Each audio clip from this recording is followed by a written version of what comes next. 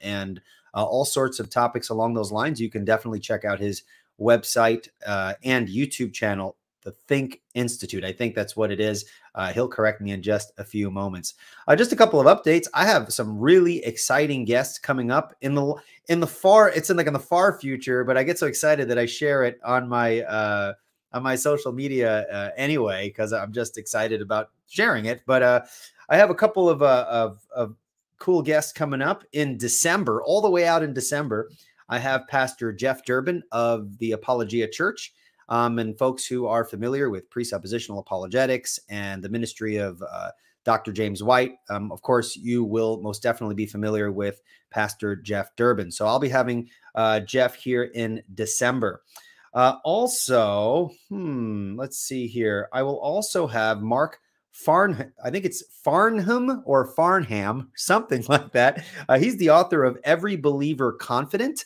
Um, and it is a it is an awesome introductory um, book on presuppositional apologetics. And so people always ask me, how can I learn presuppositional apologetics in a very simple uh, and straightforward uh, way? Um, this book, Every Believer Confident, is an excellent book for uh, for that. And so I'm happy to have uh, Mark on there. That's going to be on um, August 25th. Also, to be announced. I don't have a specific date, but I'll be having Brian Auten from Apologetics 315 back on uh, the show. Uh, we're going to be talking about apologetics and movies. That's going to be a lot of fun. And I was invited, along with a bunch of other apologists, to uh, hop on Matt Slick's channel um, at carm.org. Uh, Matt Slick is uh, the president of carm.org, Christian Apologetics Research Ministry. Great website, very large website, lots of articles, a lot of information to sink your teeth in if you're wanting to learn apologetics. But I've been invited to jump on there with a bunch of other apologists. I'm not sure. I think Anthony Rogers will be there, uh, Dr. Tony Costa, um, and a few others. I'm not sure exactly which ones, but Matt's a friend of mine. And so when he asked me, I was like, awesome. So I'll be doing that on August 23rd. And I think, I think that's it for now. Ah, okay. Wait a second. So no date now. Okay. But in September, I have um, locked in. Um, at least uh, he's confirmed that he's going to come on. We need to lock a date in. I'm going to be having Dr. Lane Tipton of Westminster Theological Seminary uh, to come on to talk about his new book on Van Til, uh, Van Til and his Trinitarian theology. So we're going to be talking about presuppositionalism, Van Til, and uh, Van Til's views on the Trinity and things like that. So that's going to be super awesome once I get the date locked in there um, I will let folks know. Uh, just real quick, I just want to fill people in on my health. Uh, now, uh, I had a kind of a scare on Friday. Sunday was my wife and I's 12 year anniversary. And so we went to celebrate on Friday. We went out to dinner, and I all of a sudden became very lightheaded. Um, and I started shaking. Uh, I literally felt like I was going to die. And they actually had to remove me from the um, the restaurant and my and put me in my in my van and my wife was gonna uh, take me home uh, but i said you know what? I want to be safe. I've never felt this thing before. Please take me to the hospital. And so uh, my wife took me to the hospital. I started uh, shaking and feeling uh, woozy. I felt like i was gonna pass out um, and they gave me fluids and, and all sorts of things. It was a mess. It was terrible.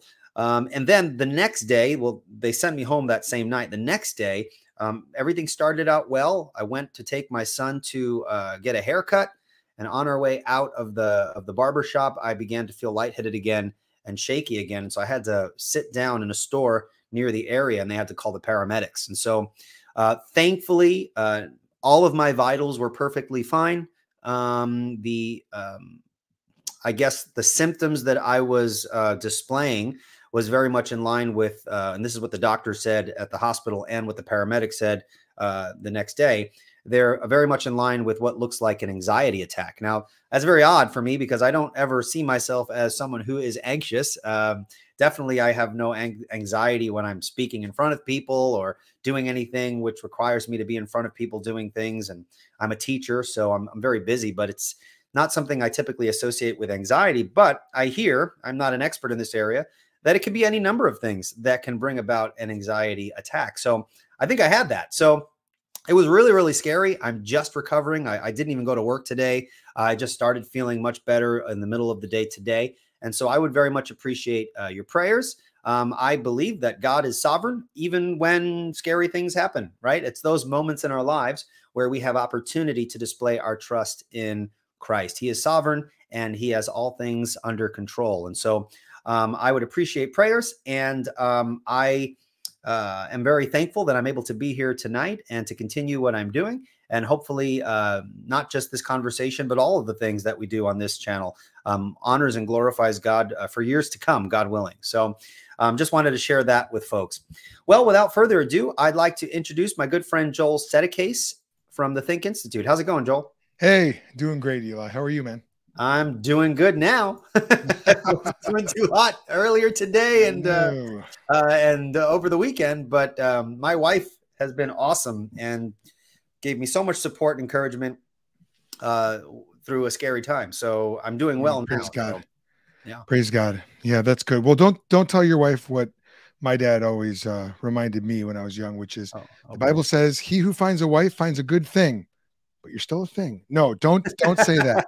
okay, I won't say that. I promise. Uh, so why don't you tell folks a little bit about your ministry uh, before we kind of jump into our discussion for today? Yeah, sounds great. So I run the Think Institute. I'm the founder and lead teacher, and uh, I'm a former pastor who used to defend my faith the completely wrong way until God changed my attitude and my approach. And now I defend the faith using a three step presuppositional method. And I know your listeners will be very familiar with that term presuppositional, or if they're not, they're about to become very familiar with it. And um, I also have the distinct privilege of being able to teach that approach to others, both at the high school level. I teach at a local homeschool co op here in our local area, uh, as well as in churches and conferences, and then weekly on our podcast, which is called Worldview Legacy. And mm. so um, I would commend your listeners and invite your listeners to check out Worldview Legacy. We've got kind of a unique spin on what we do because it's the show that helps Christian laymen to become the worldview leaders that their families mm. and churches need. And yeah. so we're all about helping men who primarily men, women are invited as well, but primarily men and dads, want to be dads who want to pass on their faith to the younger generation and are never going to go to seminary but want to be able to give clear, articulate answers to the questions that the world is asking and to do so in a biblical way. That's really what we're all about. Excellent. Very good. Um, well, um, guys, definitely check out his channel. Uh, Joel's actually done a couple of debates too. If you want to see what presuppositional apologetics looks like in an actual debate context, he's debated um, a few atheists, uh, one of which was uh, Tom Jump, who mm-hmm. is a well-known atheist on the interwebs and i thought you did an excellent job in that interaction and i don't remember the other gentleman's name but i remember listening to it and thinking you did a good job. So thanks man. Yeah well i've i've actually and man at this point between debates and and uh, sort of like moderated debates and then informal dialogues i think i'm i've had like seven or eight okay. different uh encounters. Uh I had a great one with travis pangburn on my show and then uh a gentleman who goes by the moniker of um, your friendly neighborhood atheist. He and I went back and forth like yes. five or six times. Okay. And uh, uh, that was that was a lot of fun. But by the time by the like the five or sixth time, it's like, all right, I gotta you know, like I'm not saying anything different. Right. So right. find another right. Christian. Well, well, here's the thing for folks who might think that doing debates is useless. Um, uh, if you know anything about debate, you are primarily not trying to convince your interlocutor, your opponent. Right. Uh, now, that'd be nice if, by God's grace, the person was convinced. Uh, these sorts of debates done on a public platform is very much for the audience, uh, people who are on the fence, people who we know God is is working on uh, through His Spirit. And of course, obviously, we want our debate opponents to be saved as well, but that's not our primary audience. We want to present a clear case uh, for Christian theism um, because we know many people are watching and people are at different places. Um, and those so sorts of discussions can be used by God in amazing ways. As Joel knows, doing apologetics, we we can probably do an entire show telling stories about how people have been impacted by um, debates and discussions and teachings and things like that.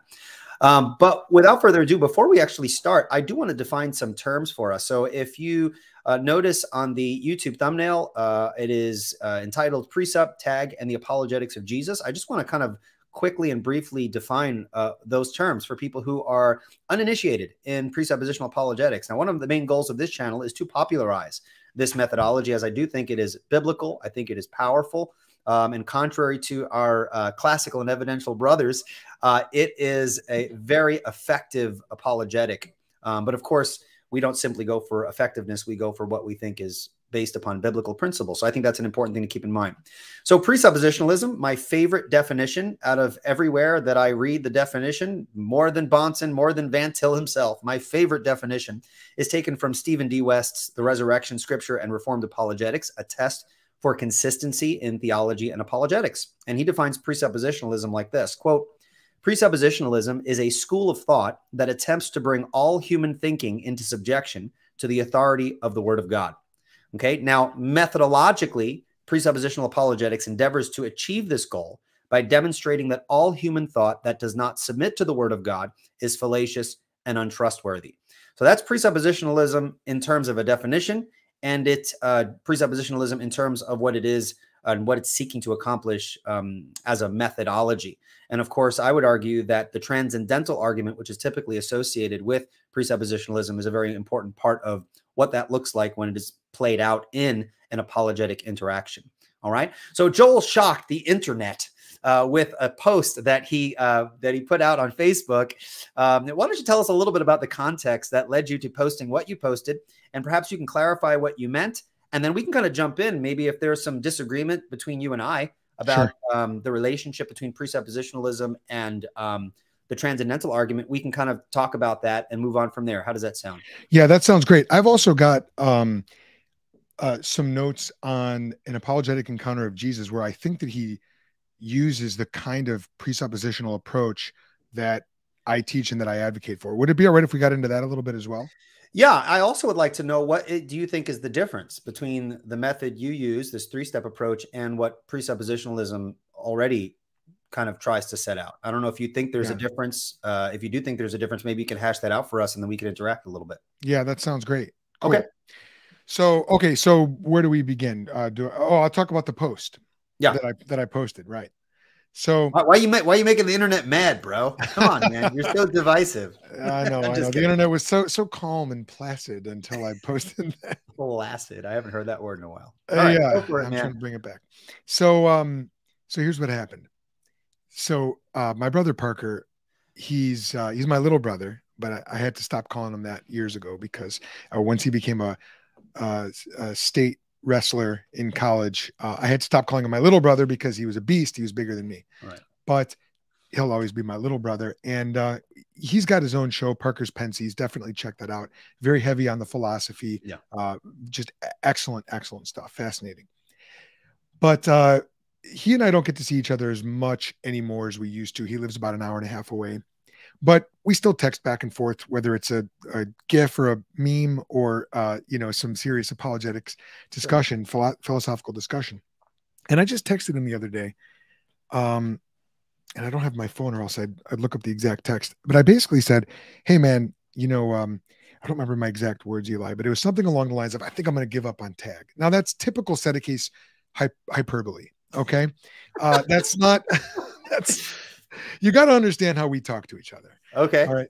Um, but, and, and he and I talked a little bit about Romans 1. What does Romans 1 actually say about, and who does it say it about in terms of who is suppressing the truth and, and what, what happens to the mind and uh, to the, to the, the moral sense, uh, the conscience, if you will, after that mm-hmm. truth is suppressed how far does the suppression go? Anyway, we're you know it's a text conversation. We're not going uber deep, but we're just talking back and forth. And um, one of the things that I do on a semi-regular basis is I'll get into the different Facebook groups I'm a part of and either you know comment, participate, engage, uh, or just try to start conversations myself. And so I made the heinous mistake of getting into the reformed presuppositional apologetics group and uh and just just posting that i had been thinking about this like again yeah. using that the Settecase hyperbole i said something along the lines of um, yeah i'm thinking about giving up on tag mm-hmm. one because to, it's it's rarely effective with the uninitiated atheist or something along the uh, the uninitiated skeptic or non-believer okay and two now this this set people off um, but I, I stand by it. Two, I said you don't see it in scripture. Now, here's what I meant by that. What I meant is, and, and I appreciate your desire to define our terms. Mm-hmm. What I meant is that the specific transcendental argument for God's existence, which appeals to the preconditions for intelligibility or uh, which talks about predication or the, the transcendentals. You, uh, as an argument for the existence of God, you don't see that argument in scripture. What I was getting at, Eli, is that look, you don't have to use a Van Tillian transcendental argument every time you go out there and defend your faith, especially if the person that you're speaking with is uninitiated. In other words, they don't they don't know, they've never once thought about what their grounding is for logic. They've never once thought they've been calling Christians irrational for years, and they've never once thought about that. And quite frankly, you're going to have to do a lot of legwork and a lot of ground laying to get them to even understand it.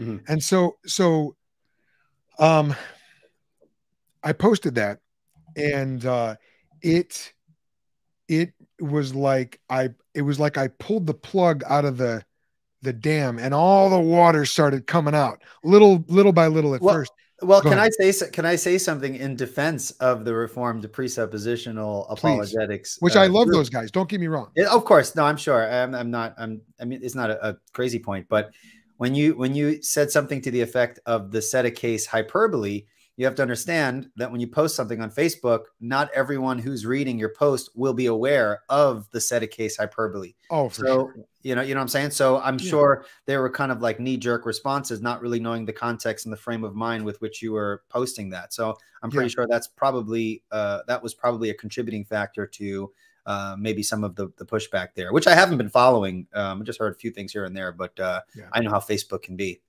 Yeah, sure. And you know, I'm sure you're right, Eli. The the I will say some of the comments, and, and I think I cleared that up in the comments. I mean, there was a pretty lengthy comment thread. Mm-hmm. But but some of the comments, now this is where I started to get really perplexed because a lot of the comments were along the lines of there is no presuppositional apologetics without tag, specifically without the transcendental argument for God. Mm-hmm. It's all tag. And I said, well, that's just not true. And what I tried to do is I tried to define my terms. And I know I, well, I'm interested to hear your thoughts because we, we've mm-hmm. talked a little bit about this back uh, on the phone. But my point was that specifically referring to the transcendentals or the preconditions of intelligibility, um, you you don't have to refer to those explicitly every time you make a presuppositional defense. At least I hope not, because Jesus didn't. And Jesus argued presuppositionally, as did Paul. And not once did Jesus mention the words logic, science, morality, or predication. So I sure hope that you can argue presuppositionally without expressly appealing to those things or explaining how they presuppose God. Yeah. So so tag uh, that term tag, which stands for the transcendental argument for the existence of God, is thrown around very loosely. But I do think that, that we need to make a distinction between tag as an argument and um, transcendental reasoning as a principle.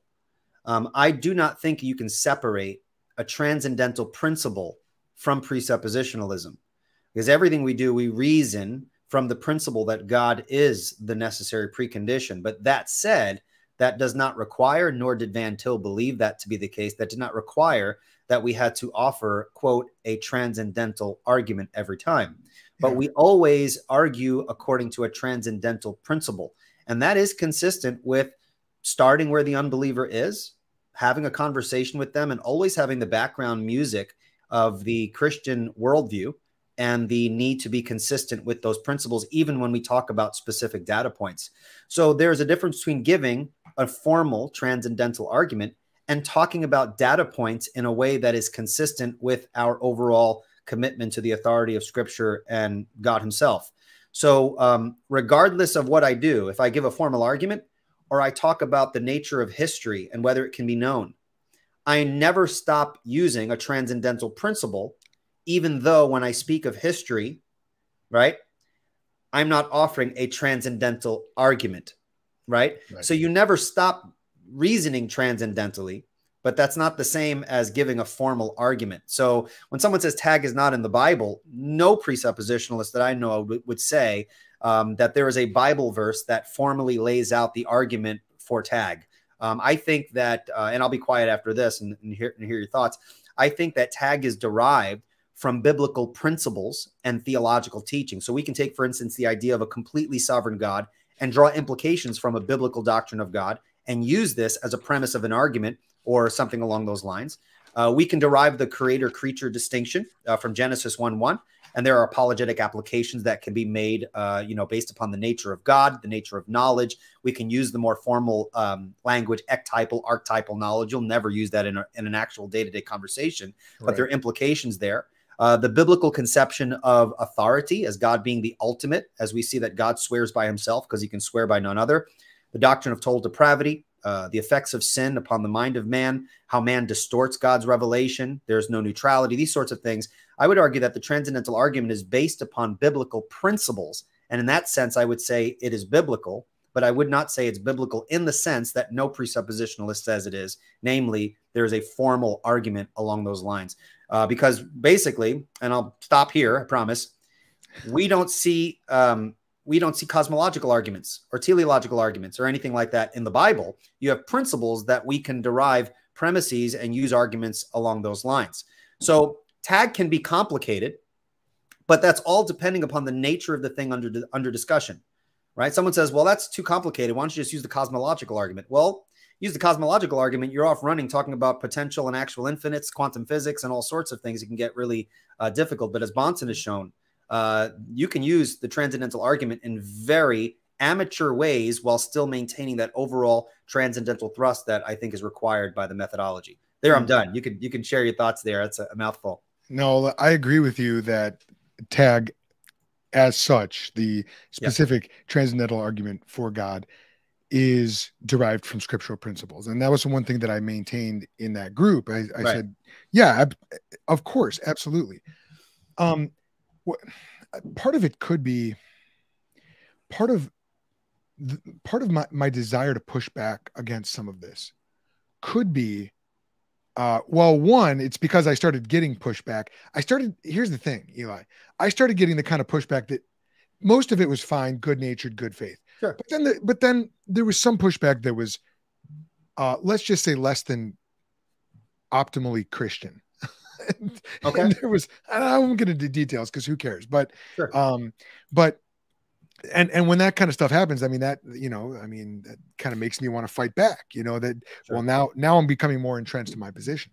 But part of the reason why I want to push back against some of this thinking is that one, I'm a former pastor. I, I ministered in the city of Chicago and in the town of Plainfield. Um, uh, you know, I've I've um, yes, I've got a, a, seminary degree, but I've I've never taught in seminary. I've never taught philosophy at the university level. I'm used to working with blue collar and white collar, mostly dads who are out there trying to make an impact for the gospel in their local area. Mm-hmm. And if I tell these guys they need to reason transcendentally, uh, okay, Joel, like I'm gonna have to translate that. Now I might be able to say the same thing, but when I'm thinking about what does it mean to reason transcendentally, I'm thinking, how can I put that in terms that the guys that I minister to, they're not dummies. I mean, these are very well accomplished guys, okay, but they're not philosophers. Um, how how can they understand it? Well, I might say something like, "Look, you can't abandon the Bible to defend the Bible. You start, and I know you would say the exact same thing, Eli. I've heard you say yeah. such things, you know, countless times. Okay, but you start from the basis, the foundational presupposition, I'm fine using that term, I love it, that the Bible and all that it affirms about God, the universe, and the human self mm-hmm. are true. And you just start with that. You figure out what the Bible says, learn how to ask great questions to uncover the underlying presuppositions and contradictions in your your neighbor's um, worldview and position. Um, and then there's this there's this very simple three step process that I always advocate for and teach. But it's really just a matter of standing on God's word and just not wavering from the fact that everything that God affirms in scripture is true unequivocally. Now you have to figure out what that means. Right. Not every passage is as clear as others. The apostle Peter says that.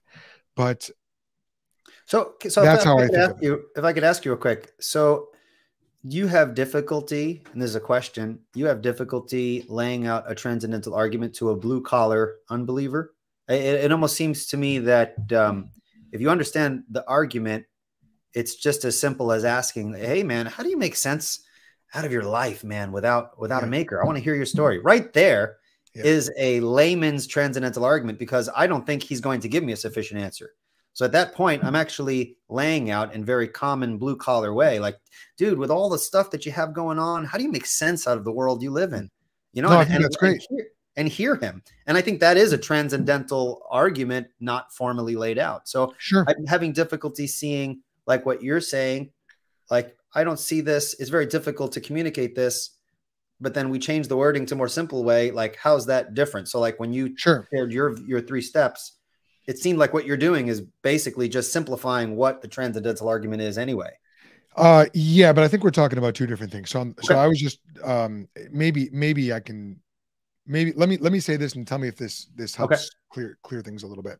So, uh, on the one hand, I'm talking about the guys that I'm teaching the apologetic to. Okay. I wasn't I wasn't talking about the guys that I might be meeting on the street Oh, I'm see, street see, okay. or something like that. Okay. Now, um, it, it- let's say you know, uh, let's say I am on the street. Let's say somebody goes, uh, uh, Christians are immoral. Mhm. Okay, well, look, we can talk about morality. That's perfectly fine. Like that's that's one of those transcendentals, or the, or that's one of those um, preconditions for intelligibility. You know, Right. uh, moral law. Sure, absolutely, we can do that, and that's a very that's a very common one. Logic gets a little bit more hard to understand, but but Right. People can you know people can understand that. Sure. Sure. Science. I mean, I love the way Jeff Durbin talks about science. You know, and, and uh, talking about um, uniformity in nature and induction and all that, and and you know, I'll I will often translate those terms if I'm speaking to a non-believer. Mhm. But let me give you an example of um, a, a, a, a way of using some a time that I used presuppositional apologetics, which I don't think is Van Tillian tag. Even if you might want to say, yeah, but you were you were doing that in the background. Sure, that's fine. But um, but a couple, let- let's say a year and a half ago, I was down in New Orleans. I was doing some street preaching Okay. with uh, with some guys down there, Zoe White and Declaring Truth Ministries. Excellent ministry. Zoe's a good friend. And I'm down there and I wasn't preaching at the time, but I was handing out tracts, starting up conversations with people as they walk by. Young dude, 25 years old, comes up to me and we get to talking. And this guy is great, really personable, you know, smiley, happy, uh, just the kind of guy you want to talk to, just a nice, cool guy. And Like you. talk Like, like you. uh, I don't know. We'll see. We'll see how this conversation goes. okay. But uh, but he goes, he goes. I we talk about Jesus. Like, "Well, what do you think of Jesus? He goes, I have nothing against Jesus. I just haven't been convinced that you know that he's God or that I need to follow him. I'm Mhm. paraphrasing here. Sure. And in other words, what he was saying is he's neutral towards Jesus. Well, all my presup alarm bells start going off because there's no neutrality. Sure. All right. So so um what I did was first I told him, I said, you know, it's interesting. You say you're neutral towards Jesus. Can I tell you what Jesus said about that? Jesus said that whoever is not with him is against him. Whoever does not gather with him scatters. Mhm. So Jesus really didn't leave the option to be neutral. You're either with him or against him. And all of a sudden, this young man, his his demeanor changed, and he started looking more grim. And he looked right at me and he said, "I could never believe in someone who said that." Right then and there, he realized he is not neutral towards Jesus. He had a false view of Jesus, and Jesus does not allow him to be neutral towards him in that way. Mhm. So what I did was I reduced his position to absurdity because he's claiming to be neutral towards Jesus, but the very words of Jesus negate his neutrality. Okay, Sure. so reduced it to absurdity. We continued talking. I presented the the uh, Christian worldview and invited him to believe in Jesus, and uh, you know he walked away not a not yet a believer, and really with maybe a bit of a more grim outlook towards Christianity Sure. only because he realized the demand that Jesus was making on him was much more than he had made. So, r- really quickly, because I haven't laid out laid it out explicitly yet, but the three steps there are one, reduce the uh, here. Here's how I phrase it: one, show the problem with the unbelieving position. Okay. Okay, reduce it to absurdity, if you will. Okay. Per- Perform a reductio ad absurdum. Uh, two, show how the Bible solves that problem. All right. So what you're doing there, so you, in a sense, you're inviting the unbeliever to walk down into your basement and take a look at your foundation after you've just shown him the crack in his.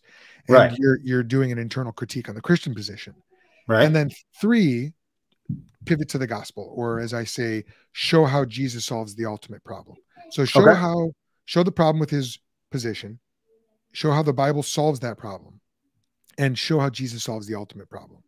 okay. And um, and involved in step two is is often a step that um, not all presuppositionalists take, but I, I I like it, which is not only show how you need the Bible in order to make sense of the very categories, but also show how the Bible lays out the rules for those categories and doesn't violate those rules. So someone says, um, Okay. you know, someone someone says uh, uh, the God of the Bible is immoral. Yeah. Well, you're you're going to show them that you need God for morality, but you're also going to show him whatever his objection was. You're going to show him how God is not not actually immoral for what I have a question. I have a question. I'm sorry, I'm rambling. I'm No, no, no. You're my guest. You're my guest. Uh, so everything you just said is literally Van Tillian. like there's nothing you said. Like Ed, so so like name if you could do me a favor. So name the Yeah. step one. What was the step one? I first of all, I know it's Van Tillian, but it's not. It's But it's- transcendental as well. Well, okay. Well, show me how. That because Okay. that's one of the reasons I wanted to come on here is so that Yeah. you could you could explain that to me. Okay, So so, step so one- step step one. So what was step one again? Step one: show the problem with his position. Okay, that's an internal critique. Correct. Uh, well, yes, yes, it's an internal critique. Although the way I typically teach it is, I just refer to it as the reductio ad absurdum.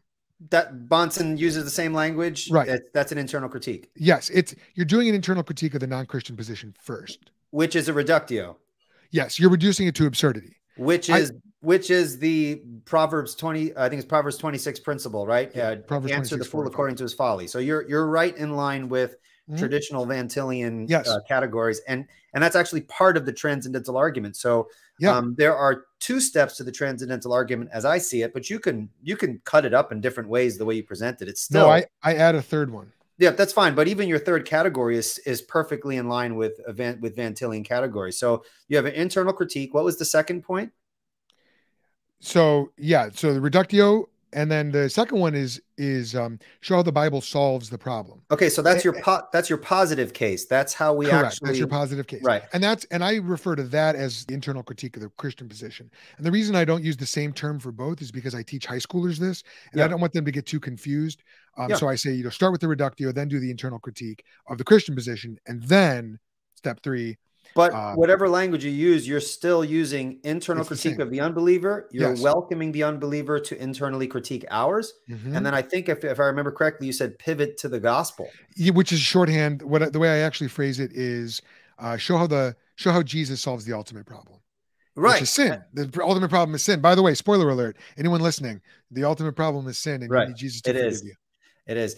Um, but that's that that it just is Van Tillian presuppositionalism. It's Yeah. exactly what Bahnsen showed when he when he had an entire chapter in I think it's Van Til's apologetic, where he talks about the relationship between theology, apologetics, and evangelism. Mhm, mhm. So those three prongs, I mean, you're you're right there. There's nothing you said from at least for me. I've read Bahnsen, I've read Van Til.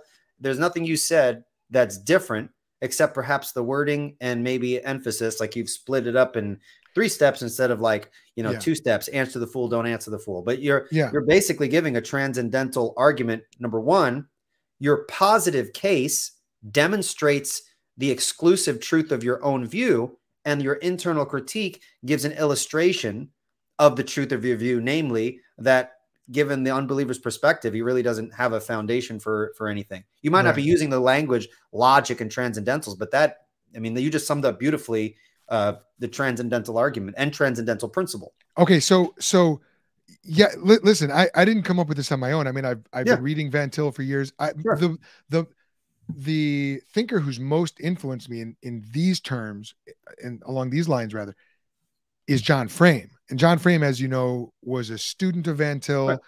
articulated things a little bit differently than Van Til. But I wrote one of my capstone papers for my master's on um, on Frame, and uh, man, I just love the way John Frame thinks. I mean, every like everything I read from that guy is like, oh, so good. Except he's a Presbyterian, I'm a Baptist, but hey, no one's perfect, Um, you know.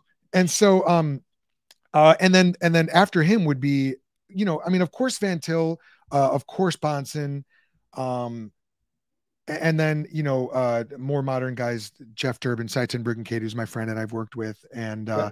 and james white but um uh francis schaeffer as well and francis okay. schaeffer had such i mean you listen you if you read uh john frame talk about francis schaeffer he talks about how at his heart he's really an evangelist and so right. he's he's a presuppositionalist but he's you know he's he doesn't formulate things quite as expl- explicitly as van til but okay the reason why i mention all this is this is because um, the way that I present things is I'm trying to give believers a tool to share the gospel.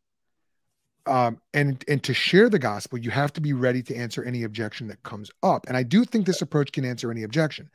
Eli, where where I get hung up, and I think maybe where people get have gotten hung up with what I say, I'm not advocating for anything other than presuppositionalism. I just don't think you have to. All I'm saying is I define tag as such as an argument from the specific preconditions of intelligibility. You can fill in that list with with whatever you want. I mean, not whatever you want, but the, whether well, it's logic, you could Inte- intelligible experience. Sure, but but specifically those right. transcendentals, you know, logic, yeah. moral law, sure. um, the the preconditions for science, that sort of thing. You could talk about predication. That's getting a little in, more into the weeds, but fine. Yeah. Okay, but um, but what I what I did with my friend on the street, my new friend on the street, was, you know, I didn't say, hey, listen, man, in order to make sense of anything, in order in order to even have logic in the first place, or you know, moral law, in order for there to be a objective morality, I didn't go to those transcendentals. Um, instead, I, I, I, it was a presuppositional approach. I stepped into his worldview and showed him how it was absurd. Then I invited him into my worldview for the sake of argument. That's transcendental. okay, so explain. So, so there's explain, literally nothing. There's nothing you're saying that's not transcendental. But how, but I wasn't. You're doing you're doing something that Bahnsen was doing in his debate with Gordon Stein. He gave a transcendental argument. You have a formal context there, so obviously we're not going to use this in like day to day. But he emphasized one specific thing: logic. But mm-hmm. then in his debate against um, uh, Edward Tabash, he gave a transcendental argument, but it looked different than what he gave in the Stein debate because his emphasis was induction. Now, if we step away from logic and induction, we can talk about any fact without using transcendental language because we're going to communicate to someone, right? And you're not laying it all out. Even Bahnsen said we presuppose the Christian worldview, but we can only talk about one thing at a time.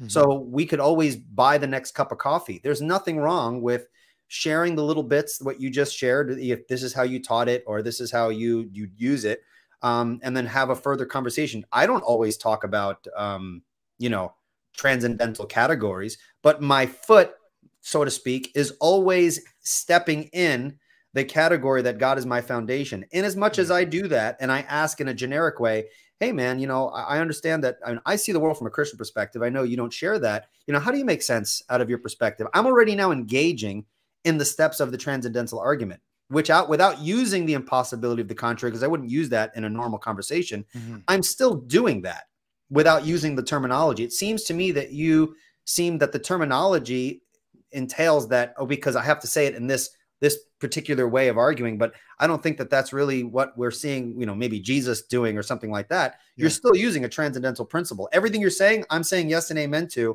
and i don't see any disagreement whatsoever Okay, so the fact that you're calling it a transcendental principle, and I, I again, listen, I'm really, not calling that that that's Van Til. Right. Okay. Yeah. Fine.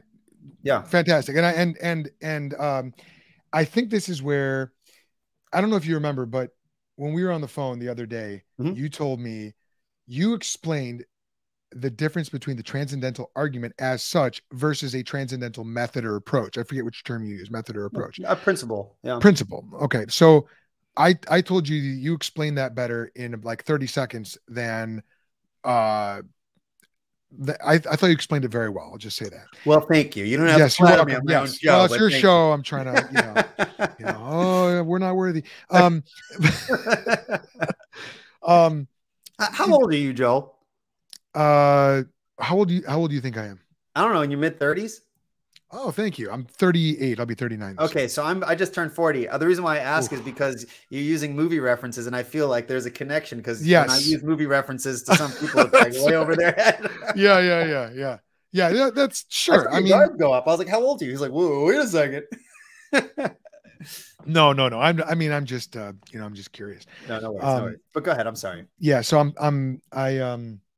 Oh man, you threw me off. What the heck? Uh, that was oh, my yeah. plan. Okay. Yeah. Well, it succeeded. uh. Okay. So so let me tell you. Uh. Here's here's my point. Mm-hmm. Someone if the fact that when you look at the way Jesus, um, when you look at the way, man, I really want to get into this example from Matthew 12. I don't know if we have time, but when yeah, you look at the way, okay, so you look at the way Jesus defended the faith. He is obviously he's starting from the presupposition that God's word is always true. Of course. Yeah. And if that's all we're saying, then then there is no there is no issue here whatsoever. Sure. Okay. But um if you look at the way Jesus defended the truth, and let me let me tell you what, let me just get into the example here. This is Matthew 12, 1 through 14. Okay. Uh fine if we hop into it? Of course. Yeah, yeah. Okay.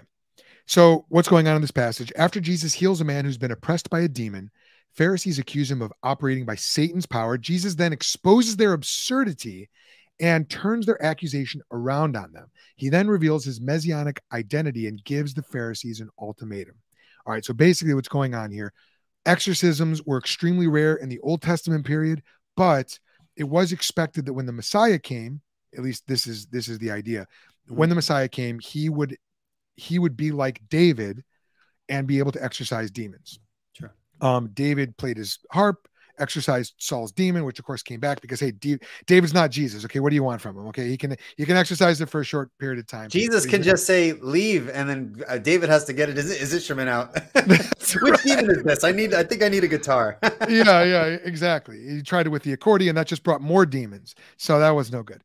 But um, so uh, so Jesus Jesus heals this this person who is demon possessed mm-hmm. and um the Pharisees accuse him of being fueled by Beelzebul. Beelzebul is a name derived from Baal or Baal. Baal is the pagan god worshipped by the Canaanites, the enemies of ancient Israel. It means master of the house. So that's Beelzebul. And it's it's come at this point to be a euphemism for Satan. And so they're accusing Jesus of being fueled by Satan. Jesus does something good, they accuse him of being evil. All right. Uh, oldest trick in the book. It's still going on today, by the way. Uh, we can get into that another time, maybe. But so what does Jesus do? Here's his three steps. Step one, he begins by stating a principle that they agree with. Okay. Every kingdom divided against itself is headed for I'm going to stop right there. I have to stop right there. Go. When you just use that word, the words, he started with something that they agreed with. That right there is Tra- that's a that's a form of transcendental argument because transcendental argument starts with an agreed upon fact by both parties, and then we ask, what are the preconditions? Now, Jesus wouldn't use that language, right? He doesn't, but he doesn't.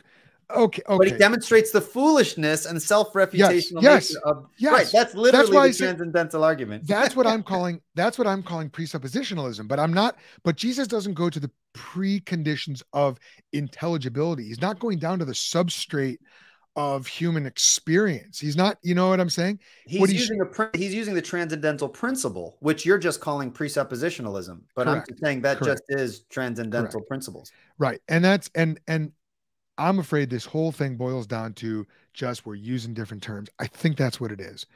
And and the but the fact that you're willing to say it's a transcendental principle without calling it tag necessarily, unless I misunderstand you well, I, no transcend, eh, no presuppositionalist worth his salt would call applications of the transcendental principle a transcendental argument.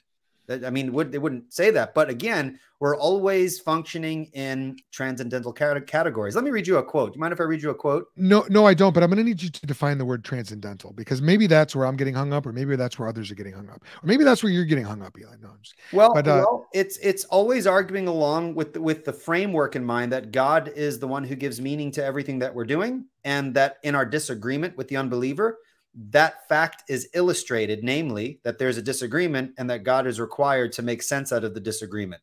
Now, how we apply that to specific data points is going to depend on the nature of the conversation. If I'm debating an atheist on YouTube, I might use logic, something more intellectually rigorous. If I'm talking to a guy on the street, I might use a specific application of, say, like a moral argument, which is transcendental, right?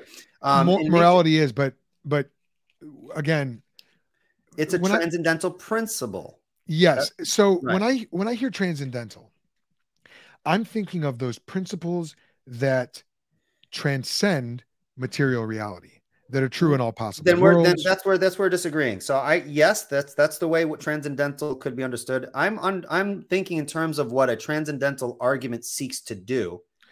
The principles upon which that's based is seen in everything you're saying. So a transcendental argument in general if i can use kind of the technical terminology uh, mm-hmm. goes something like this x is a necessary condition for the possibility of y where mm-hmm. then, given that Y is the case, it logically follows that X must be the case too. So, what you just said, we start, Jesus started with a principle they agreed with.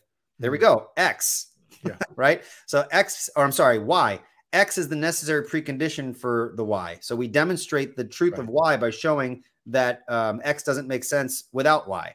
Mm. Now, that's sure. that's that's all kind of formal logic there, but the principle plays out in conversation in every principle in every point that you laid out. So whether we're talking about and Jesus is, is appealing to evidences or anything like that, he never does so without using the principle behind it, even though we, no presuppositionalists would argue Jesus is using a formal argument. But he understands the interconnectedness of everything he's saying. I wanted to read this quote yeah. I thought was interesting. Um, quote, this is what the quote says When one gives up Christian belief, one thereby deprives oneself of the right to Christian morality, for example. Christianity is a system, a consistently thought out and complete view of things. If one breaks out of it a fundamental idea, the belief in God, for example, one thereby breaks the whole thing to pieces. One has nothing of any consequence left in one's hands. Christian morality is a command. Its origin is transcendental. It possesses truth only if God is truth. It stands or falls with belief in God. Guess who said mm-hmm. that quote? Uh, well, John Frame. No, Friedrich Nietzsche. really? Even he understood that we can talk about this is Friedrich Nietzsche. Is a quote in uh, Cornelius Plantinga Jr.'s Engaging God's World, a Christian vision of faith, learning, and living. Even wow. Friedrich Nietzsche understood that you take morality, you take any aspect of a system Mm-hmm. right? And you remove it from that system, that's it. The sure. whole Christian worldview is an interconnected system. And when we talk about one, mm-hmm. we're always talking about it in the context of that only has meaning given the system. Now, when I talk to people, right, I'm not using the tag argument, but the principle is always in play given the very nature of the Christian worldview as a system. So I'm never leaving a transcendental principle, although I may not be using a transcendental argument. Okay. So okay, so uh, morality again though is is one of those yeah. transcendent realities. Yeah. Uh, it, it's wrong to murder in all possible worlds. Murder by definition is wrong. Yeah. Okay, so so there's there's no possible world in which murder is right. So what I'm and I, maybe you're just going to say this is the transcendental principle. That's fine. What Jesus does though in Matthew 12. He starts by stating the principle. Okay. Jesus is not making an argument for morality or logic or any or or any immaterial transcendent truth. He's I'm not saying he's not being logical, Eli. I'm not saying he's not being moral. Right. Okay, yeah. what I'm saying is he's not he's not um he's not holding up morality and saying for morality to be a thing, for this to be a meaningful category, X must be true. God's word must be true. I must be Messiah. Um, here's what he okay. So what he's doing, he states the principle. And um, let me see if I can somehow get my train of thought back there. Uh, this has been really good, but it's also uh, uh, distracting. So I'm gonna try. While you're looking for it, I just want to tell the audience if you guys have any questions, um, we are coming up to the top of the hour soon, so we'll start taking questions if there are any. Um, but please preface your question with question, and we'll take a, a few of them. Um, if folks uh, looked at the thumbnail a while back and, and the time said 9 p.m., uh, because of my situation over the weekend, I kind of made it earlier so that we could end earlier and I can get a good night's sleep mm. uh, so I can get to work. So um, we're coming up to the end here uh, soon. So if you have any questions, feel free to ask away, whether it's for myself or Joel, or you want us to both interact with something. Uh, we'll try our best. But uh, just wanted to throw that out there. If there are no questions, that's fine as well. Go ahead, Joel. Okay, so here's what Jesus does. So they're accusing him of working for Satan, and they're basically saying we've uncovered Satan's evil plot. Mm-hmm. Satan's evil plot is he's going around casting out demons uh, through this guy, through Jesus, in order to win converts for Satan, essentially. This is Satan's nefarious plot. Look how he's using this guy who's this false claimant to the, the Messiah ship. Uh, all right, so what Jesus does is he goes, Look, a house divided against itself is, uh, it, it can't stand. All right in other words, you um you're one, what does that mean?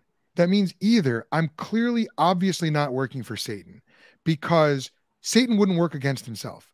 Satan wouldn't do the very thing that would cause his house to collapse.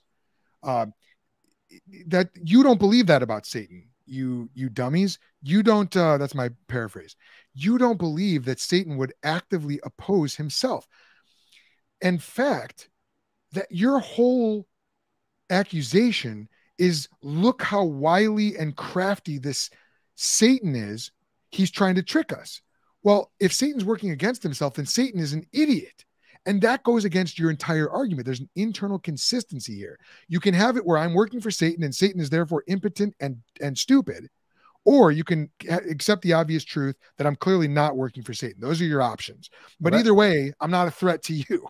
Either way, I'm not actually serving the enemy. I'm not. So, is, so is he doing apologetics at that point, or is he just trying to clarify their own misunderstanding? No, I think he's reducing their position to absurdity. He's showing them that they are absurd for for believing it. I, again, I think this is step one of his of his approach. But see, what I so what I'm what I'm trying to figure out is how does that fit into the transcendental scheme or the the the it's at the, the heart of the scheme. It's okay, but he's he's reducing it to absurdity.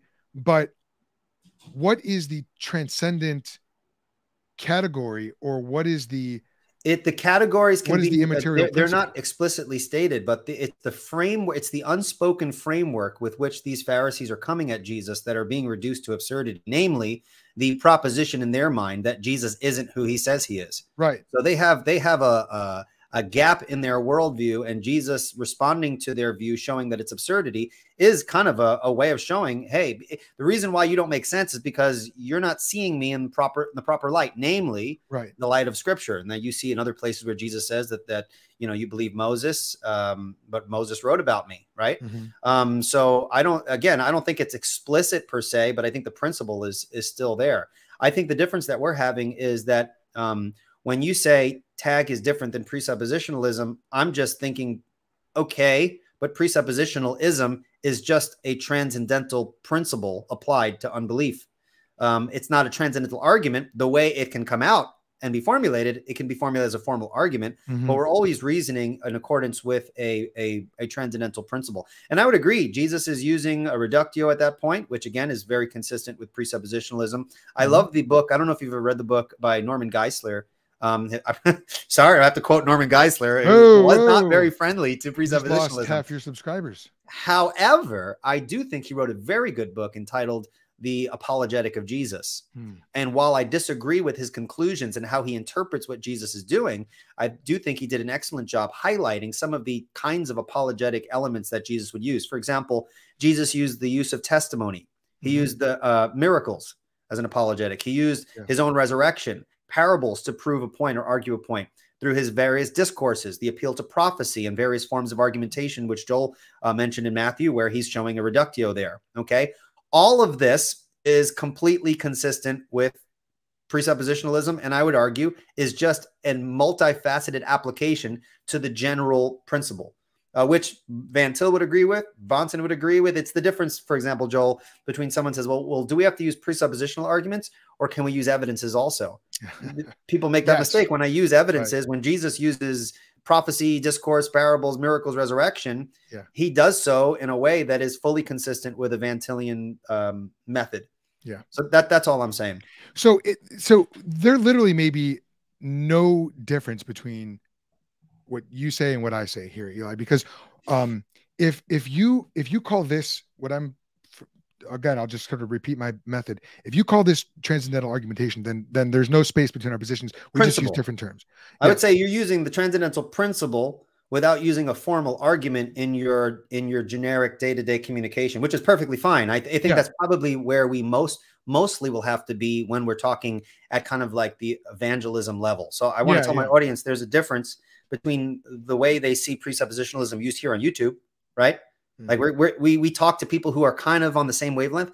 This yeah. is going to look very different when we talk to the man on the street, the blue collar guy that you that you spoke about. Whether we're sh- teaching it to blue collar Christians mm-hmm. or sharing it with blue collar pagans. That's right. That's right. Right. That's right. Yeah. So if if all it is is um you are well what what I what I always tell people is that you really just need two skills to defend your faith. That's mm-hmm. it.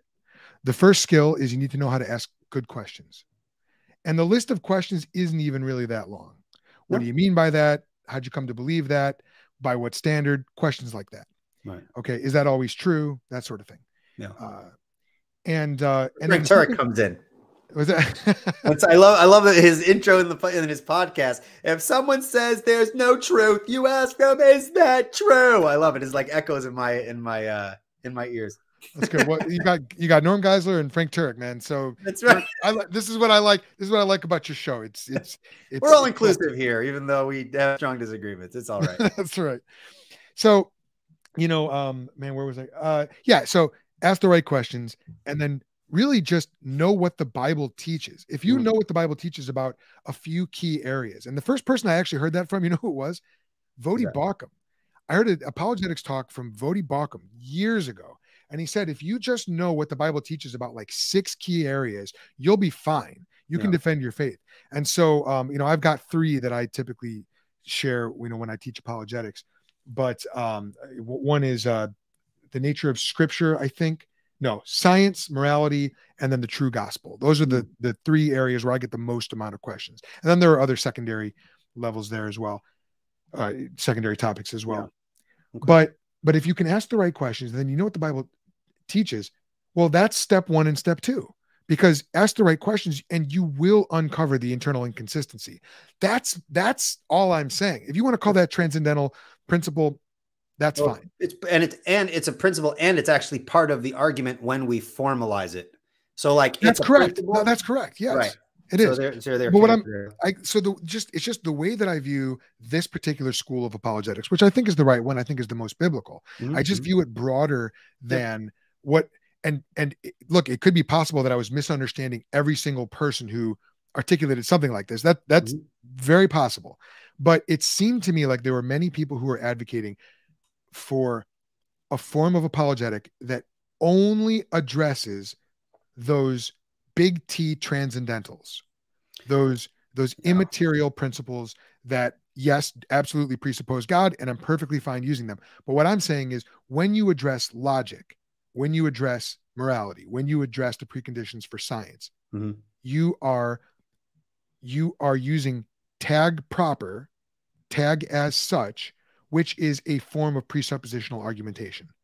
That's and I, I think that our terms just don't line up, but would you pretty yeah. much agree with everything? I'll, I'll just say this. If I was standing behind you and saw you use your three points I would you'd see me with like cheerleading pom poms. I'd be like, go Joel. I'd be like, go Joel. Yeah. Joel, Joel, hey, hey, he's gonna help us win today. I'll have like a whole cheering thing for you. Because everything you're saying is whether you don't see the connection or not, or maybe maybe you kind of like, oh, maybe it doesn't make a little sense, or eh, I still think it's a little different. The way you're saying it is precisely how I would say, go for it.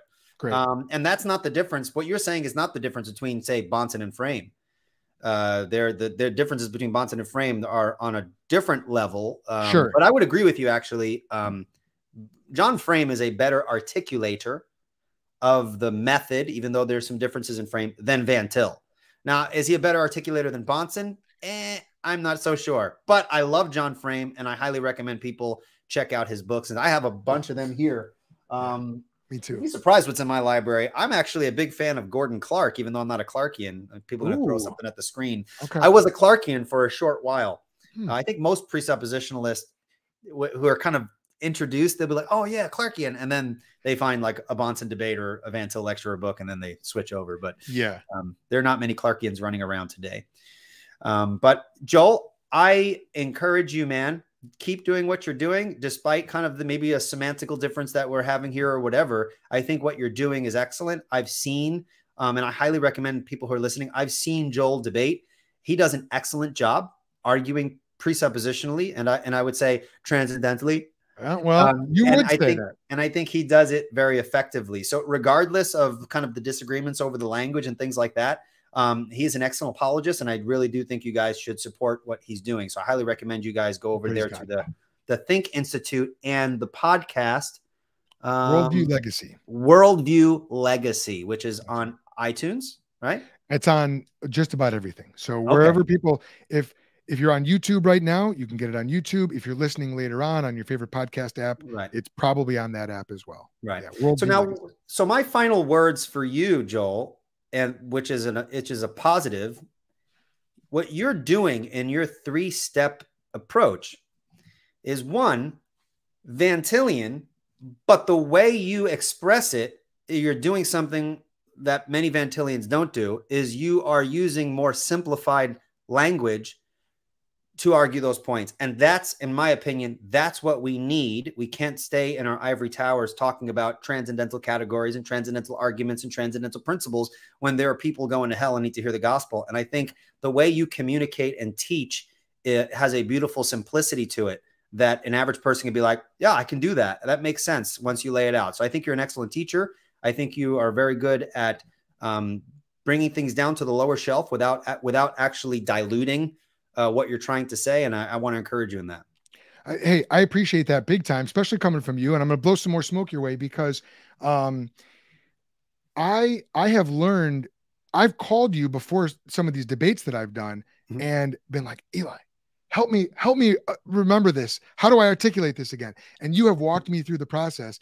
And uh, so I've learned a ton from you, brother. And you know what else? But I know we're going to get to questions here, and I'm I'm fine on time. But um, the last time I was on your show, I think it was last year, maybe last summer, but we talked mm-hmm. about presup for the kiddos.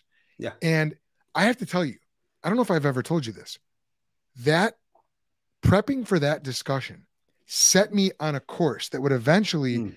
actually very helpfully define the direction of the Think Institute mm. because we started focusing more on families and on especially with fathers leading their families in articulating and being able to answer the questions about the biblical worldview. And that That's that awesome. you know there were several impetuses for that but one of the major hinges was or whatever launch points was uh coming on your show. So mm. that conversation was really really good. I don't know what your audience thought of it but i i loved it. I i thought it was great and i thought it was a topic that needed to be done. One of the questions that i get more than any question is um when are you coming out with a, a, presuppositional apologetics workbook for teenagers or like young people? And I'm just you like, I don't have, I don't have time. I wish I could. So Bro. if someone wants to write it, I totally would buy it and promote it. Uh, can but, I? Uh, oh, yeah. Can I jump in here and make a quick plug because sure this you're t- you're you're setting me up. I gotta I gotta knock this out of the park. okay. I I am almost done with my apologetics curriculum for eighth through 12th graders. Nice. I've okay. been teaching it at the homeschool co-op where I've been teaching for the last year. And um, if if I dare say that say this, the students have loved it. I mean, I've never gotten such positive feedback, I think, on any work in ministry that I've done, uh, more so than this using this curriculum. So that's going to be coming out, Lord willing, very, very soon. I'm talking with a publisher. Um, I haven't quite decided fully on the route that we're going to go yet, but mm it's very very close. It's like 27 lessons 28 lessons um, laying out the method in very simple terms that an eighth grader can understand and apply and get excited about and then going through several different objections that people are going to hear on the street or, or, from their classmates. Well so keep me updated yeah, it's man. coming. i'll have you back on uh, and we can talk about the book and, and uh, that'll be a blessing i'm sure. Uh, speaking of middle uh, middle school i actually teach sixth grade bible and eighth grade logic and of course i do it from a very apologetic bent um, and I have this Bible box my wife had has made out of a shoebox Bible questions. And so the thing is filled to the brim and they're all anonymous. I figured, you know what would be great to do as an episode is to go through some of these questions so that people can see what sixth graders and eighth graders ask about the Bible and theology. So I might just do it blind. I might bring the box, take out the thing, and just read the question and kind of interact so people can see what kind of questions are young people asking and maybe there's some kind of presup application to how those questions could be answered so um, stay tuned for that i'll do that in the near future i'm sure that'll be a lot of fun but let's move to the questions real quick and uh, we'll take a few i can't stay up too much longer, but uh, I'd like to thank you so much. This has been a great conversation. So let's see here. I'm only going to go to the ones that have emphasized that it, it is a question that they have. Do, do, do, do, do. Let's see here. I don't do a very, uh, um, I'm not very tech savvy, so I have to like literally just scroll down until I see something. Okay, let's see here. Uh, no, that's a statement. Okay, I don't see questions. Let's see. I know there were. Oh, here we go. Okay, so Sid, thank you so much for your question. Sid is asking Joel, what are your thoughts on Reformed scholastics since they are a divination from presup, more classical? I don't know what they mean by divination, but uh, that can't be. That's got to be. uh deri- maybe derivation. Oh yes, maybe. Um, yeah, divination sounds like you're conjuring up. Uh... like, come on, Sid. Are you a pagan? We need to pray for you, everyone. we don't do. We I don't want do... you to. I want you to call the number on the bottom of the screen, Sid. All right, and we will send you two bottles of anointing oil that you will rub. And I'm just kidding. Yes. Go ahead. If you want, if you understand the question, you can go for it. There. I I have I I would be guessing. I would absolutely Okay. be guessing. The Reformed scholastics. I mean, I I'm familiar with that term. I'm I'm familiar with the the tradition of scholasticism that came out of the Reformation. Um, I do not know what they said about uh, apologetics. I mean, now my mind is sort of cycling through the different things that I've learned about that. I mean, deviating. Maybe they're a deviation from presup. deviation. Right. So so maybe yeah, I would say that the Reformed scholastic, scholastics were not presup in any formal way. You do see hints of presup throughout church history, but I think Van Til really was the first to Mhm. like latch onto these principles and say, "Wait a minute, there's a lot of good stuff throughout church history, but they've gone wrong here and see this is where we can do it more consistently with with scripture." So, um if if that's the question they're asking, yeah, I think my thoughts at least, I'd be critical of the Reform scholastics in as much as they they allow for autonomy and neutral Yes. categories to sneak into their methodology. Yeah, and and Van Til addresses it's not the Reform scholastics, but he addresses that way of doing apologetics, which was very common in his day and in the Mhm. previous century. Um, in his book uh, Christian Theistic Evidences, which I'm only about halfway through, but man, Okay. he just he just uh, excoriate. He just lays into. Is it Butler? Who's the guy that he just lays It's into? Butler, yeah, Yeah. he's the And- evidentialist guy. Yes. Yep. And you know, that way of thinking was so common back then as it is today because we love autonomy. We human beings think that we are autonomous. That's the, that's our default Hmm. and we're not. And so um yeah, insofar that the reform scholastics um strayed in that direction, uh I would I would be against it. I will say I did write an- the other one of my capstone papers on Jonathan Edwards and Jonathan Edwards had uh he his approach to apologetics was really uh i mean it wasn't reform it wasn't uh, vantillian necessarily but uh you can tell there there's there's maybe some shadows of van til in uh in jonathan edwards There, there are elements of presuppositionalism in a lot of. Uh, I when I had Doug Wilson on a while back, he's I loved what he said about uh, C.S. Lewis, who he, he said, well, C.S. Lewis is not typically understood as a presuppositionalist, but you can see seeds of it in his thought. He says when atheists were behaving, C.S. Lewis is more evidential, but when the atheists were misbehaving, he was very presuppositional. You can't even make sense out of morality That's and this. The, so uh, it really depends. You know, um, you can see seeds of it definitely. Um, Yeah. All right, let's move on to another question here. Thanks, Sid. Uh, Sean, uh, okay, so is a reductio argument enough to give justified true belief, in particular, the justified part of justified true belief?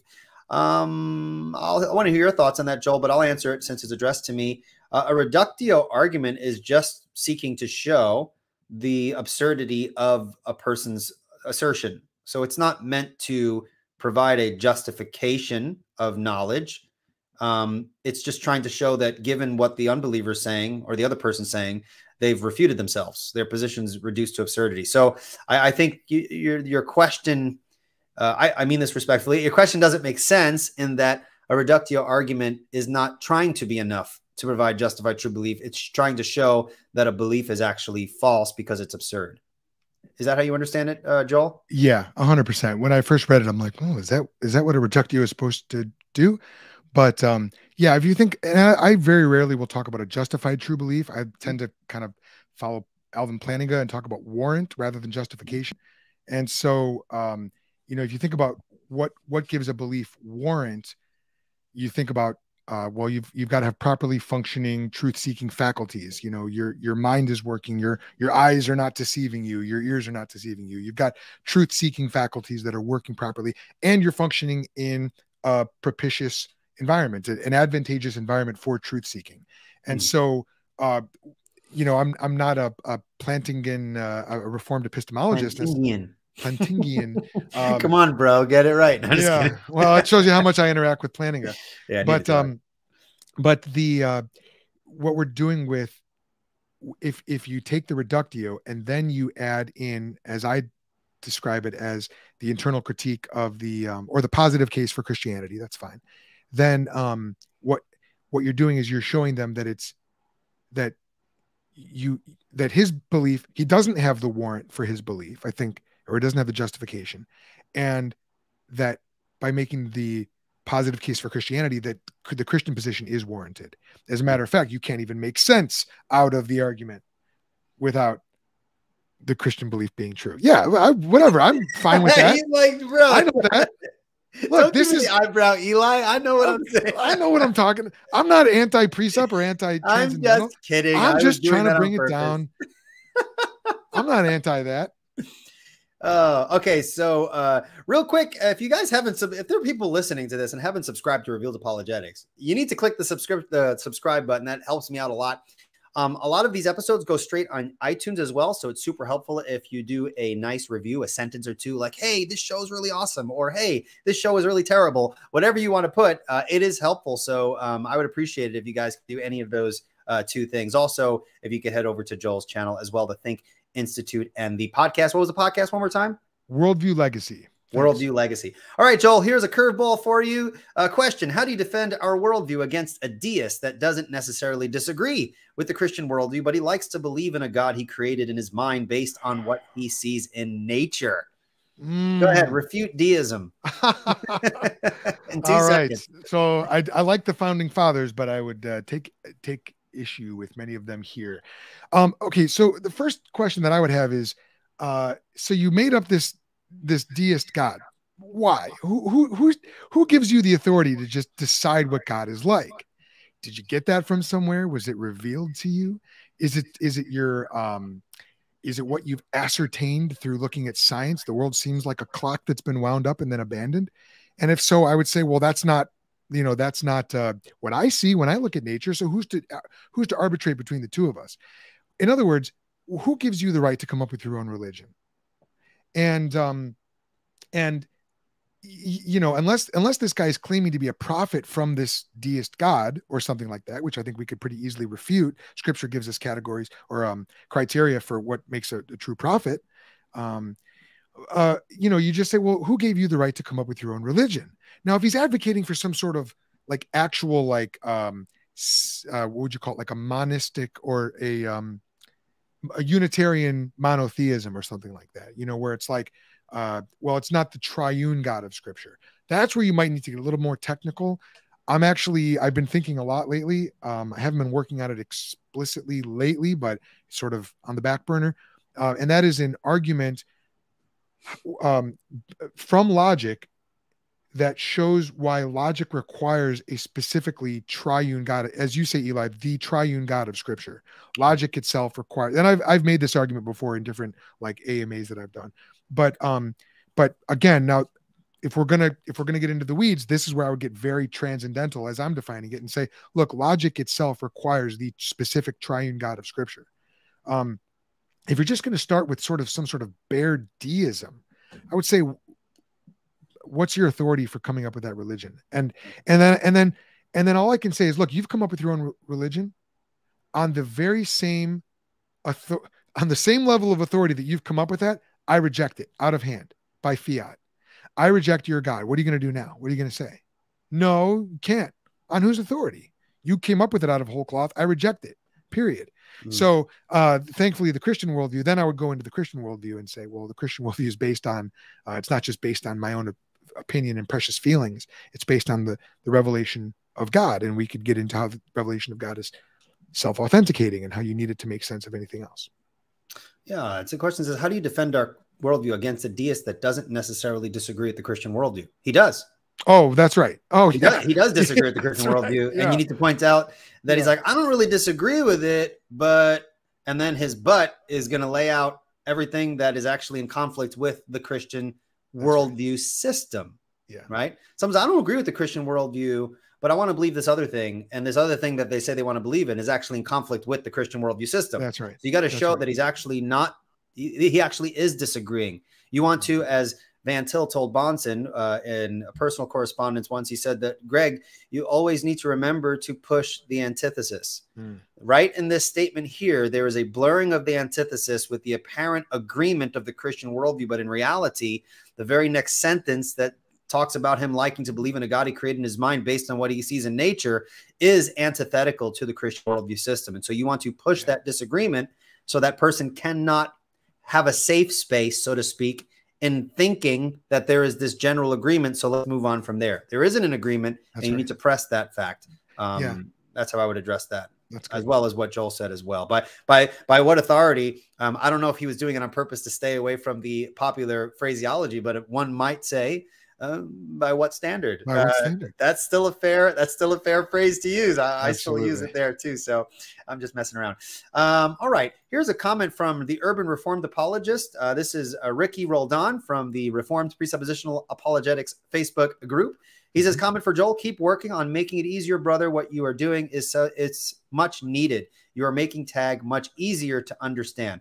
I would agree with that, even despite our kind of disagreement yeah. on what that looks like. I still think you're doing an excellent job um, uh, simplifying it for folks, the everyday person, and that's what we really want to do. Praise God. Um, and one of the things Thanks, I appreciate Rick. about a lot of the well-known presuppositionalists is that they're also churchmen. Bahnsen was mm. a pastor. Van Til also uh, was pastored for a while. Um, this stuff needs to be brought to the average believer yeah. so that we can bring it to the average person. Um, we can't just always stay on the internet debating about it. So I think that's an important thing. Yeah. Um, Peter W says, How do you respond to the problem of evil argument? That sounds like it might be addressed towards you. I don't know. Um. well, I have I have some thoughts, but I you're my guest. Sure. okay. Dibs. Unless unless you want me to give my my thoughts and you share afterwards, that's fine as well. No, I'm I'm I'm I'm happy. Uh, I'm happy to address it. So this is where I'm gonna I draw heavily on John Frame, and uh, the the first thing you have to do is let's reduce this down the problem of evil. What is evil exactly? What what stand what ultimate standard of good is evil negating or is evil the absence of? And that's gonna that's gonna expose the vacuity or uh, emptiness of you got to be careful with this argument. Let me just back up a second. If someone is asking why their grandma just died, man, put your arm around him and tell him tell him you love him and and that you're praying for him. And uh, can i tell you about the hope i have in jesus? You know can i can i can i walk with you through this? And can i share with you how god has been with me when my son got cancer when my wife got cancer when my son other son got mrsa when my son needed a heart transplant? Can i can i walk with you through this? And and i'm going to share how G, how jesus comforted me and how jesus has given me hope through the darkest times of my life? Can we do that? Because that's that's a legit answer if someone is really asking this from a deep place of existential dread. Okay. But if we're just if we're just talking philosophical, how could a good God allow evil? Okay.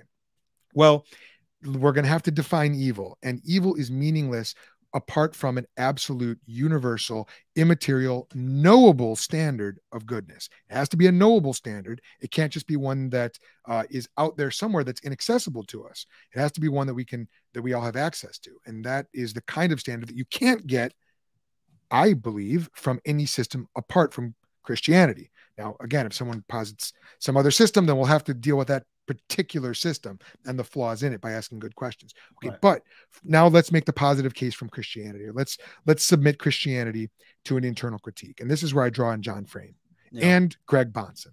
Yes, right. I, am eclectic too. I like to bring uh, I like to bring the different um, soldiers together to form yeah, one army. I love Frame. Yeah. Well, no, I know, I know, but you know, those two weren't didn't agree on everything. Sure. But um, okay, so on the one hand, you've got Romans 9:20.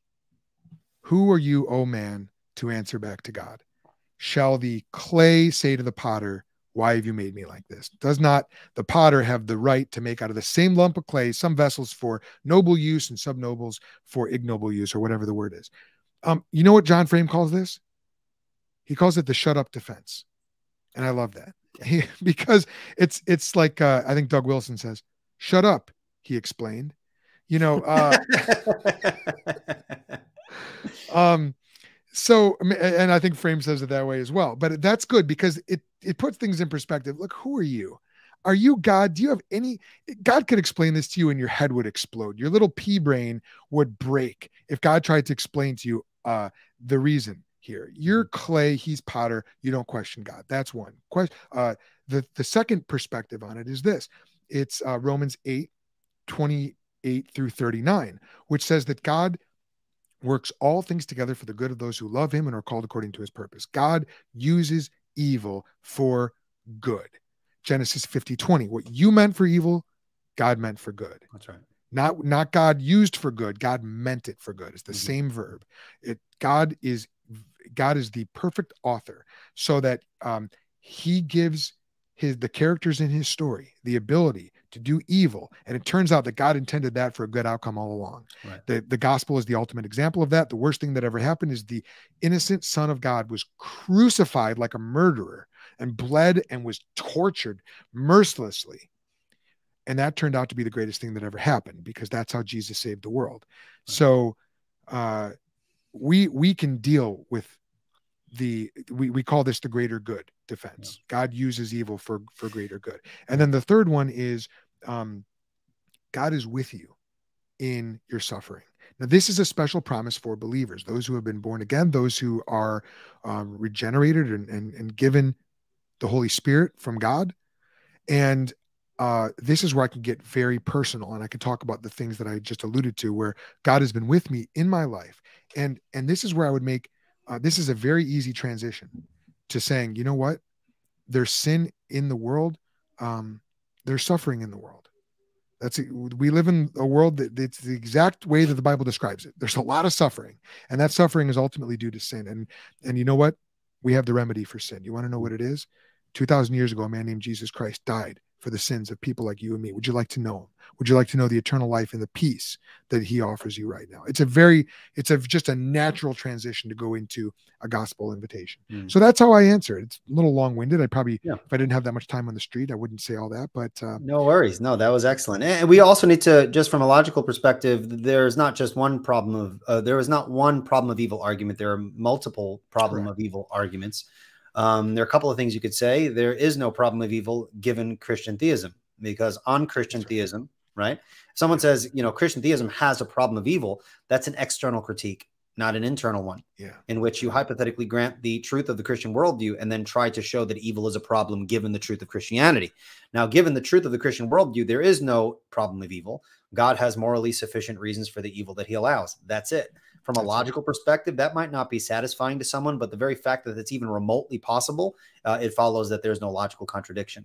So we want to make a distinction between logical problems of evil, which tries to show that there is a logical incoherency between the existence of the Christian God and evil, um, and emotional arguments, which have no bearing on the truth or falsity of a position, but um, they're kind of just showing, you know, like this is a huge emotional problem. How do you surmount this? Well, from a Christian perspective, it really doesn't matter uh, how one might go about doing that. It's irrelevant to the truth of Christian theism.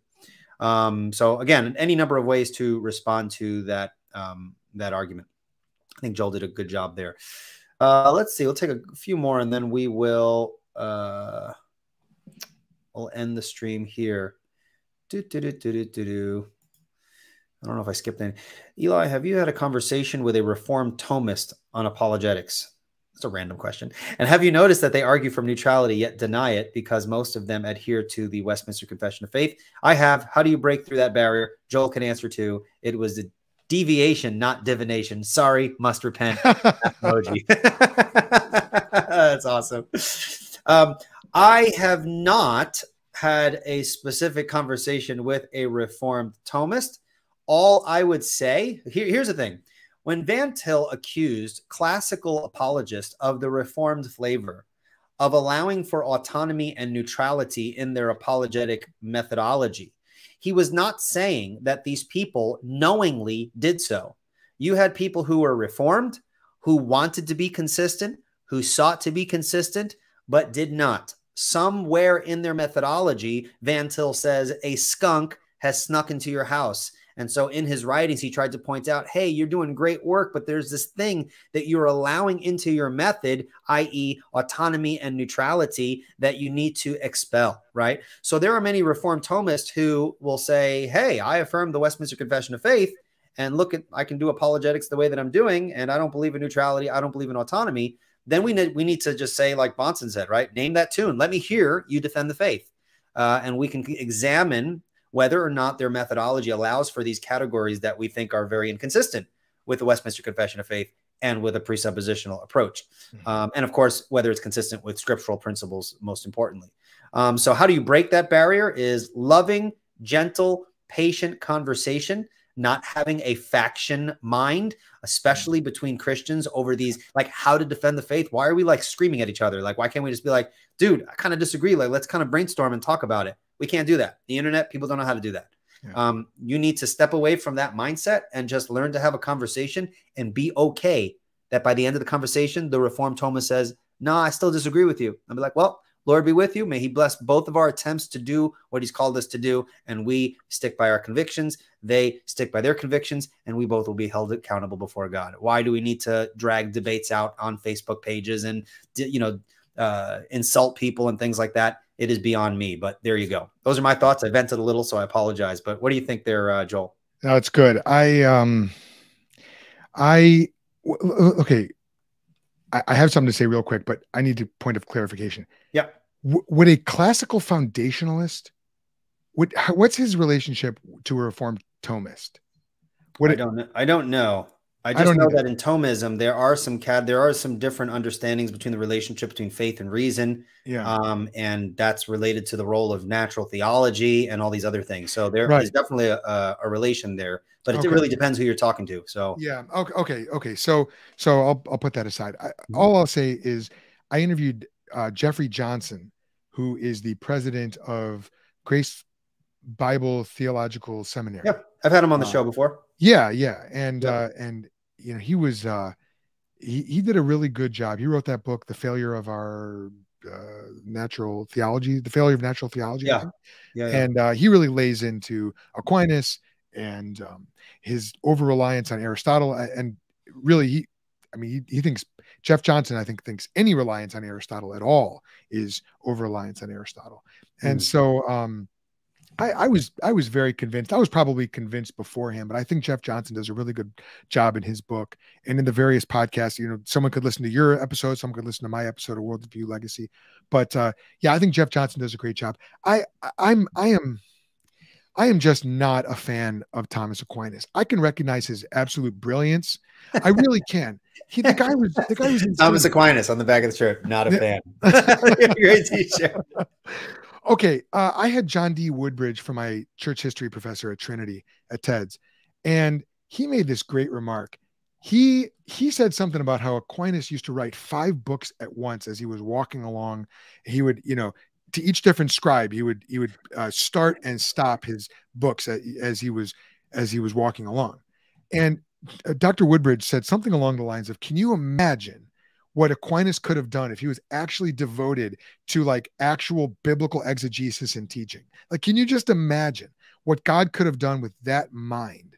Mhm. And um, but the fact is, he wasn't. He was over reliant on classical Aristotelian philosophy, Mhm. and Mhm. I think that was his downfall. You're right. He assumed neutrality. He had a very, very limited and unbiblical view of the noetic effects of sin and the effects of sin on, uh, you know, our ability to think and reason. And look, Aristotle had some great things to say. I think. I mean, I like his what he said about logic, but he's not a good basis for apologetic. Yeah, and and um, Thomas Aquinas. I mean, I'm I'm with you. I'm not a huge fan, but I mean, there's definitely golden nuggets to learn from. Even just the quality of his life. I mean, I love reading biographies of you know various thinkers and stuff, and for that reason, there's a lot to benefit, and even some of their intellectual observations. I mean, he was a genius. Sure. Um, but but at the base, there are some fundamental disagreements that I think are important for Christians to um, to keep in mind. We're gonna Well, take one more question here. Sorry, oh, good. Yeah, yeah. Can I just tell me one more thing about that? absolutely. if you have to remember that Aquinas was writing at a time when 99.9% of the people were some sort of Christian theist, Yep. right? So if you look at it from that perspective, and I think Dr. Woodbridge pointed this out as well in, in that class, uh, is like 10 years ago, but um, if you if you think about it in terms of like, okay, we all already accept Christian theism, uh, based on that foundation, are there good like like can we make observations about the world and and sort of like confirm and corroborate our already pre-existing belief i say yes absolutely as a christian i already believe that evidence is a meaningful category and a possible thing so what evidence you got for me aquinas and and now we can look at his five ways and we and we can say all right yeah there's you're right there's some golden nuggets there because i'm already a christian Yep. Okay. Excellent. Uh, there's one more question here, and then we're going to wrap things up here. Uh, Richard Cox, thank you for your question. Uh, Richard asks In Bahnsen's debate with Sproul, just in case people don't know, Greg Bahnsen debated R.C. Sproul. I mean, that's news, not news to me and anyone who listens to the channel. But if you're if, if you're a R.C. Sproul fan, you're like, wait, what? They actually debated over the topic apologetic methodology, and it's uh, can be found on YouTube. Um, and it's an excellent debate, an excellent debate. You see the intellectual prowess of both uh, Dr. Bahnsen and uh, RC, and it was a, a wonderful brotherly uh, debate and intellectually rigorous as well. So folks want to check that out. But in Bahnsen's debate with Sproul, it seems like Bahnsen said he did not believe in mediated revelation, only unmediated. Any thoughts on this? Are you familiar with the debate yourself, uh, Joel? i know that i've started listening to it i've never finished it i can't speak to this question Oh man, okay. Well, you definitely got to check it out. It's, it's really good. i do i do Um, I can't quote anywhere from Bahnsen's work, but it, to my knowledge, I don't believe that Bahnsen um, disagreed with mediated revelation. He may have held to both. So the knowledge of God um, is immediate; it is innate, right? But also, there's a knowledge of God when you open your eyes, right? Open your eyes, the heavens declare the glory of God. That's mediate, right? Knowledge of God being mediated to us. But you couldn't even make sense out of that without the already immediate knowledge of God that you have. So there was a point of dispute in the debate whether Calvin was reflecting more of a immediate knowledge of God or an immediate knowledge. And Bahnsen was saying, you know, I think Calvin was emphasizing the immediate, and there was a, a point of dispute there. So I think he would hold to both. Um, don't quote me on that. Um, I know that's my position. Um, if you open your eyes, there's knowledge of God all around you. If you pluck your eyes out and you no longer can see, um, uh, you still know God because it is made up in your very constitution. I would agree uh, with Calvin there, where you cannot even properly understand yourself without looking beyond yourself to the God in whose image you were made. So, The sensus divinitatis. yes, sense that's right. God. Yeah. So, all right. Well, before we close out, uh, Joel, is there any last thing you'd like to say before uh, we close things out? No, just well, yes. Uh, go subscribe to my podcast, Worldview Legacy, and uh, and listen to the episode with uh, Eli and my brother Parker, and then listen to all of our other episodes as well. That's All it. right. Well, thank you. And Um, and well- and and d- dude, I have to say thank you for having me on the show. We've gone we've gone later. Uh, this was this was almost like a last minute thing. We just talked about this a couple days ago. Yeah. And um, I really I really really appreciate what you do and the guests the the caliber of guests that you have on your show. It's really excellent. And um and you know like I said earlier, you've you've helped me articulate my own apologetic and uh, help me out with some debates. So big, big supporter of what you're doing, Eli. Appreciate you um, immensely. Well, I appreciate that, brother. Well, I'll have you back on to, to take on some sixth graders and eighth graders. Uh, Love we'll it. talk about doing the the Q and A thing there. So cool. All right. Well, um, that is it for this episode. Until next time, guys, take care and God bless. Bye bye.